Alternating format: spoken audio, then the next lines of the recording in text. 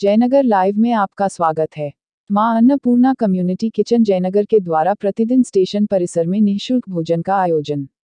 जरूरतमंद को भोजन कराना और उसकी सेवा करना जीवन का सबसे बड़ा पुण्य होता है। इस कार्य के लिए हर व्यक्ति आगे होता है, ताकि कोई व्यक्ति भूखा ना सोए। इसी उद्देश्य से जयनगर में माँ अन्नपूर्णा कम्युनिटी किचन की शुरुआत की गई है। माँ अन्नपूर्णा कम्युनिटी किचन का उद्देश्य है कि जयनगर शहर में कोई भी व्यक्ति भोजन के लिए दर दर न भटके। हर जरूरतमंद को भोजन मिल पाए।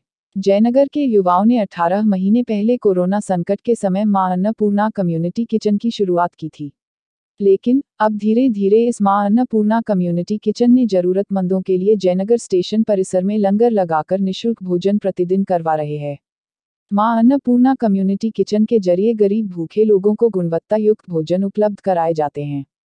कोरोना संकट में शुरू हुआ माँ अन्नपूर्णा कम्युनिटी किचन अब हर गरीब और असहाय लोगों की भूख मिटा रहा है। अब माँ अन्नपूर्णा कम्युनिटी किचन की ओर से नई पहल करते हुए शहर के लोगों को जागरूक किया जा रहा है। जन्मदिन हो या पुण्यतिथि लोगों से अपील की जा रही है कि व्यर्थ खर्चा करने के बजाय आप इन जरूरतमंद लोगों के लिए भोजन की व्यवस्था करें। लोग भी इनकी मदद के लिए आगे आए हैं। आज इसी कड़ी में जयनगर के बल्डीहा निवासी मदन यादव अपने जन्मदिन के अवसर में गरीब असहाय लोगों के बीच भोजन दाता बनकर निःशुल्क भोजन वितरण किए। के अवसर पर कुछ गरीब को भोजन करवा रहे बहुत अच्छा लगा। ये जो मानपूर्णा कम्युनिटी किचन हर रोज़ गरीब असहाय निसहाय लोगों के लिए भोजन करती करवाती है और आज के दाता आप बने हैं।